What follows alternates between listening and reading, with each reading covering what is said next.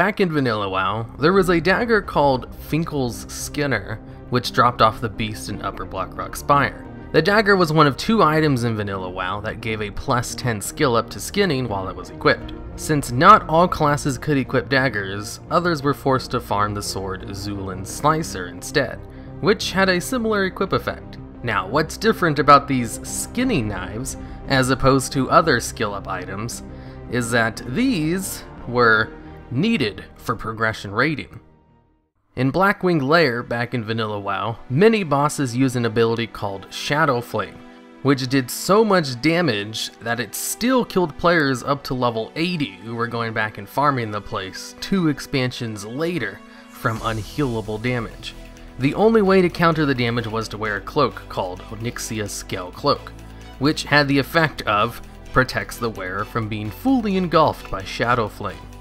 You could not clear Blackwing Lair without this cloak, but I've heard that some raids could get by with only the tanks wearing the cloak, by cheesing certain bosses. But even then, at least one person had to have it equipped. Now, the cloak itself wasn't a rare drop or anything. It was simply crafted by leatherworkers, and could be learned when you turned in the quest for defeating Onyxia. One of the biggest problems with crafting the cloak, however, was that one of its materials for crafting it was a scale of Onyxia. The scale of Onyxia could only be obtained from skinning Onyxia, which is where the skinning knives I mentioned earlier come into play. The maximum level for skinning in vanilla was 300. You needed a skinning level of at least 315 to skin boss level mobs. There was an enchant that could give you plus 5 skinning, but that only brought you up to 305. So in order to get that last 10 levels, you needed to obtain either Finkle's Skinner or Zulian Slicer, depending on which class you were.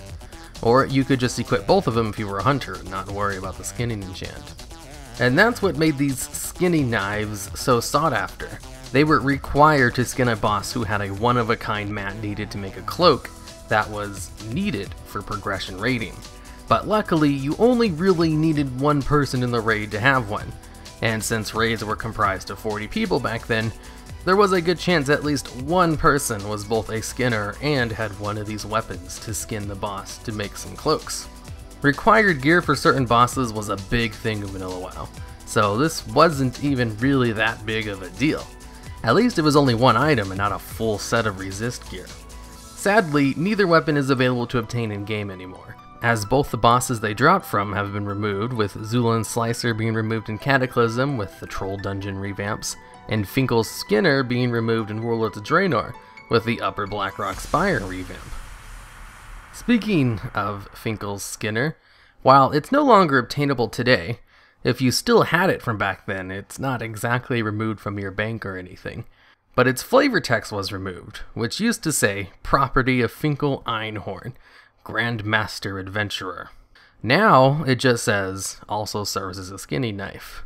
Its old flavor text is a reference to its lore in the Warcraft RPG, which states, This dagger looks like nothing more than an ordinary skinny knife, but it bears a powerful enchantment that makes it ideal for fighting beasts.